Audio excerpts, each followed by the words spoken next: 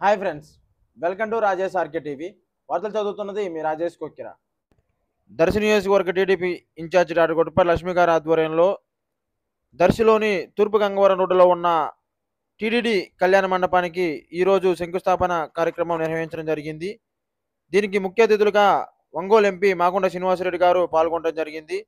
వారితో పాటు దర్శి నియోజకవర్గ TDP incharge doctor Gottapalli Lakshmi garu Kadiyala Lalithasagar గారు దర్శి మాజీ శాసనసభ్యులు నారంశెట్టి పాపారావు గారు దర్శి మున్సిపల్ చైర్మన్ నారంశెట్టి పిచ్చయ్య గారు దర్శి నియోజకవర్గం మండలాల అధ్యక్షులు ప్రజలు అభిమానులు పాల్గొన్నారు. Thank you friends